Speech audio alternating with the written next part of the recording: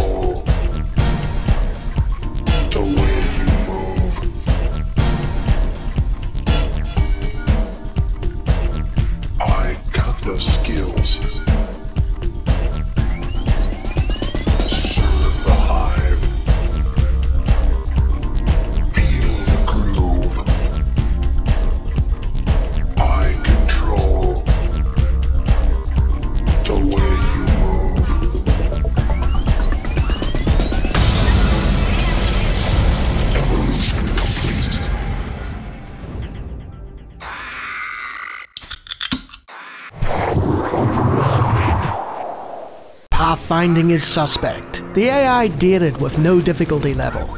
The animations, controls, unit selection and queuing are all limited with no idle worker button. And the game's flat 2D engine was old hat on a technical level even when it was released. Structures don't cost money until they're built and are cancelled if units are in the way. It's not on Steam or GOG.com, the base game is free but the remaster is paid for and both digital versions need a separate launcher from which not all the community content is compatible anymore. Oh, and the cutscenes are dated and there's some weird cartoon skin now. Yep, that's about it.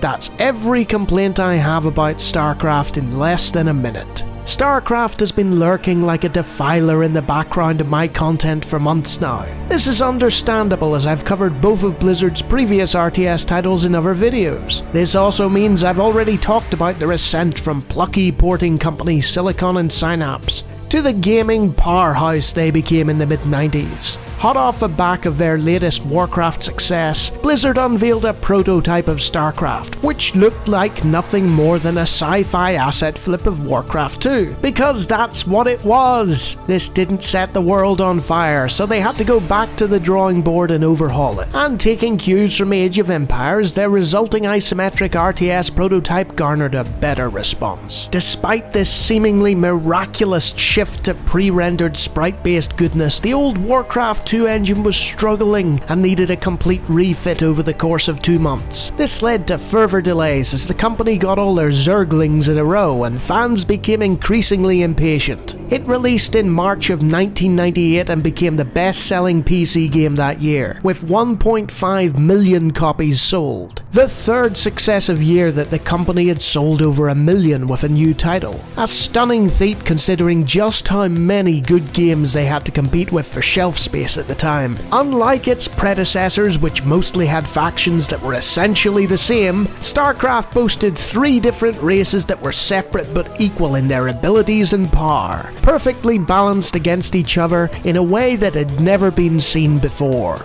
Everything else about the title had that typical Blizzard polish, with most of the technical features already innovated in other titles, but now shined up to a blinding degree by the design team. The extra development time resulted in a product that set the standard for how an RTS should function, to the point that it was adopted by the US Air Force as a method of teaching crisis planning and teamwork. Oh yes, Admiral, I definitely need to use that computer. I feel my crisis planning is several campaigns off being fit for duty. Two authorized add-ons by Stardock and Aztec New Media followed, but despite using the same engine and mechanics, they were criticized for their lackluster story and design. They also didn't bring anything new to the table. They were completely forgotten about because Blizzard never bundled them with the game, and in their infinite wisdom released their own official expansion. Brood War arrived in December of that year and perfected the careful balance, adding an entire game's worth of additional campaigns and new units to boot boot that fits seamlessly in with the vanilla crowd. This has led it to be rightly touted as one of the best expansion packs ever released. Right from the get-go, and to this very day, StarCraft with Brood War installed was considered the greatest real-time strategy game of all by many publications, including this channel, and was recognised by Guinness World Records as the best-selling strategy game ever, one of four records the game would go on to hold.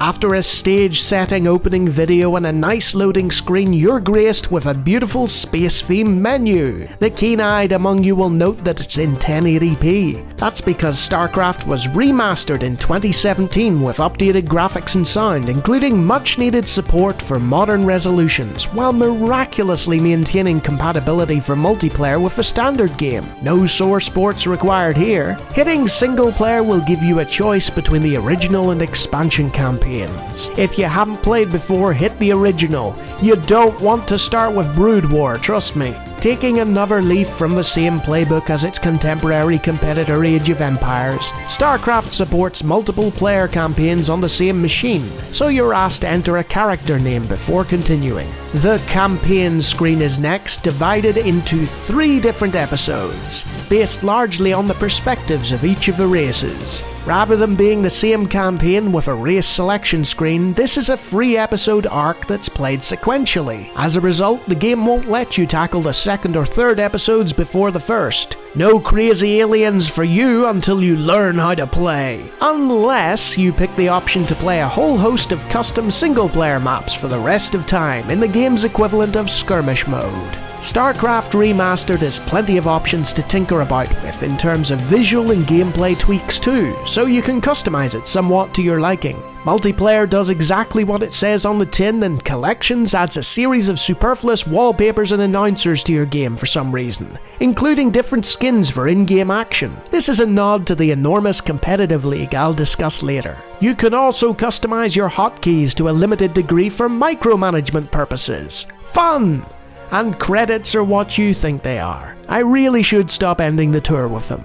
Rebel Yell, the Terran campaign, gives you a few nice slideshow images to click through for flavour before you're off to boot camp in order to learn how to play. A weird computerized technical lady will brief you on the mission and then how to do basic things like order units about, build structures, and harvest the two resources in the game, minerals and Vespene gas. One comes in the form of expendable crystals that you harvest, much like the lumber in Warcraft. The other is more like a gaseous gold that you construct a refinery over the top of. StarCraft greets you with a nice little tip screen that you can disable and forget about forever. Then you can choose between following orders or roaming the map with your troops until you come into contact with a mysterious alien force. Before that, the men will helpfully berate you for not using the newly created attack move function. The Terrans are much like any other human beings. The vast majority of them are insufferable pieces of work. It's up to you to begrudgingly prevent their grisly deaths, so they can go back to being drugged up lunatics and fight amongst themselves instead. After succeeding in your mission, you'll hear a gong, and the now standard victory screen will pop up showing how you did. General Edmund Duke will join you in one of the briefing panes of the next mission. These will gradually be populated by a growing cast of characters as you get further into the campaign, with up to three people having things to say to you in addition to your briefing lady. The vastness of space is clearly the new frontier, and the foul-mouthed colonists are heavily inspired by Western films, which gives the Terran campaign a darker personality and character than Blizzard's previous cartoony RTS venture. StarCraft continues to hold your hand in the next mission, sending you to a wasteland to find Marshal James Raynor in order to relocate colonists from the doomed backwater. What aids the emerging story are the newly created in-game cutscenes, where the action will pause and characters will talk to each other, further outlining opinions, motivations, and what's required in the mission to come, or potential changes mid-game.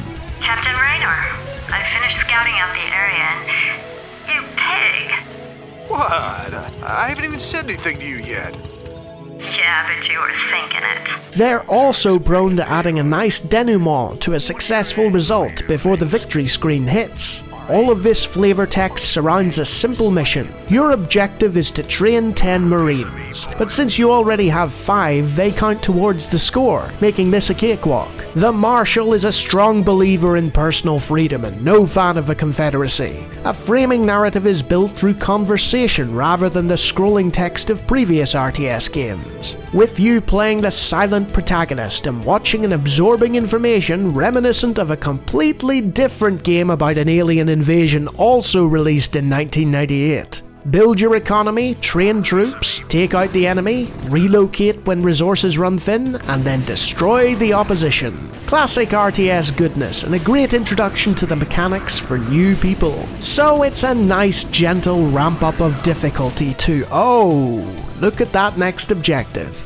Let's hope you were listening during the last two outings, because they were glorified extensions of the tutorial. Fortunately, you have defences intact at the beginning, and it's just a matter of upgrading and training troops to ward off the Zerg assaults. This mission is an ancestor of a modern tower defence game. The strategy is known as turtling, where you cower behind a fixed shell of defences instead of striking out and attacking the enemy. You're also introduced to additional buildings and extensions, offering you new abilities and upgrades in a seamless fashion. The fourth mission gives you another campaign element, where you control Raynor and a limited selection of troops with no SCVs or resources and navigate a maze-like structure. These are generally my least favourite parts of RTS games, but as far as this type of gameplay goes, it's simple fare. The episode continues along that line with each mission having its own little twist, and you're led through an entertaining story of conflict and betrayal that truly motivates you when you're clicking all the men in buildings. Sorry, Kerrigan. Men and women. Oh yes, and aliens. Lots and lots of aliens. Speaking of which, Episode 2 is an intimate introduction to the first of those mysterious alien species, the Zerg. And this blew my teenage mind when I first played it 22 years ago. I was all set for a reskin of the Terran faction, but with a gruesome alien bent. You know, like the orcs and humans Blizzard had graced us with in the past. Then I discovered that this strange new species was entirely unlike anything I had seen before. The Zerg are a biologically superior life form controlled by a singular mind. Their units are hatched from eggs in the hive, despite only having one building to train creatures, you'll have no problem amassing a swarm of teeth and flesh to tear into your enemies. You don't build things either, you hatch drones who in turn evolve into the static creatures you require them to be. All of this is done on the creep, an oozing substance that will quest out further into the map the more you build upon its edges. The Zerg units are simultaneously weaker but more expendable than their opposition, and you'll find an almost callous disregard for them actually benefits you sometimes, as you wear down your enemies in a biological war of attrition that their frail bodies can't keep up with. Plus all your units and buildings naturally regenerate, which is a great benefit for those that survive. Alternatively, if you get the chance, use the strategy that this game popularized. The Zerg Rush. Two Zerglings hatch from a single egg, meaning you can amass an army far faster than the opposition and overwhelm them through sheer numbers. Come on, boys! They can't kill us all! The general structure of the missions remains the same, but the atmosphere generated by this completely new design and attitude changes it significantly, without completely throwing the player. The disgusting creatures you sought to destroy now become the tools you use to lay waste to your foes in a delightfully macabre twist. New music, new units, new campaign, new point of view, and a different yet familiar playstyle using the same control scheme you spent the previous episode learning. They could have lengthened the Terran campaign and called it a day, selling the other races in additional games. You know, like they did with the sequel. Instead, we get three times the effort put into a single title. You'll soon charge headlong into episode 3, leaving a bloody mess in your wake, only for StarCraft to shift chameleon like once again. The Protoss are the most technologically advanced of the races, sporting shields that regenerate and units that are more powerful than the other factions. The trade-off is that the training and upgrading of these forces takes longer, and enforces a more deliberate pace compared to their frenetic foes. Just like the Terrans, they don't care much for the swarms of Zerg that have been plaguing the universe, courtesy of your antics in episode 2, and they want them gone. They warp in most of their buildings and units from other planets, and in order to facilitate this, You must construct additional pylons. Pylons provide power and increase the number of units you can train. The caveat being if your enemy takes out those pylons, your buildings don't function anymore. Fortunately, while it's costly to do so, once you have a pylon down, you can warp in multiple buildings at a time with a single probe, negating the time penalty. It might take you longer to get going with the Protoss, but once they're fully upgraded, you'll have fleets of devastating ships, enormous beings of unfathomable energy, and deadly shielded warriors worth several units from those lesser factions. And that's the beauty of StarCraft. For every advantage a side boasts, they also suffer a penalty elsewhere, and part of the joy of playing is uncovering each of these quirks and how they fit together in a seamless competitive whole.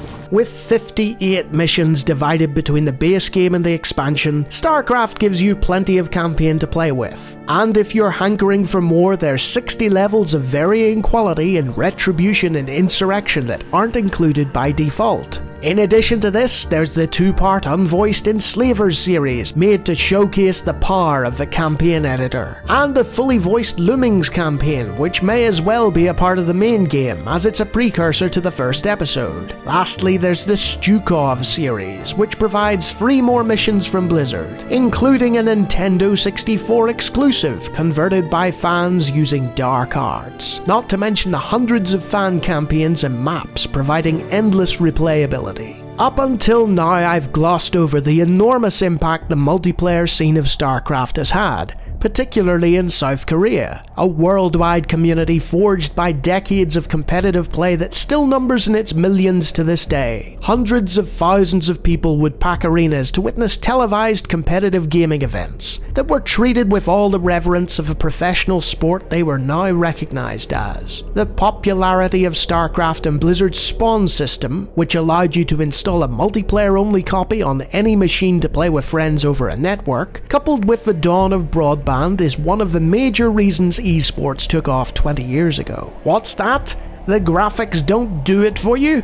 Charlatan! If that's really the case, then fear not. Mass Recall is a complete remake of StarCraft inside the engine of its much more modern sequel. It's nowhere near the same as playing the original because the design style is completely different. But for those who just can't get over the confines of the control scheme or graphics and want the story, both the mod and its prerequisites are free. The sequel? It took them 12 years. It's played by millions, and while I still prefer the original, I'd be out of my mind to call it anything but an excellent and honed RTS that more or less ended the genre. Even if I don't think the campaign or design decisions hold up when compared to its predecessor, the mechanics and graphics are obviously superior. Whatever way you choose to play it, StarCraft is a once in a generation game, right up there with the likes of Pac-Man, Tetris, Doom, and Lee Carvallo's Putting Challenge. In all honesty, this video could have been over an hour long. I've only lightly touched on so many potential topics to discuss, but it's much better to experience a game like this firsthand after my setting the stage for you,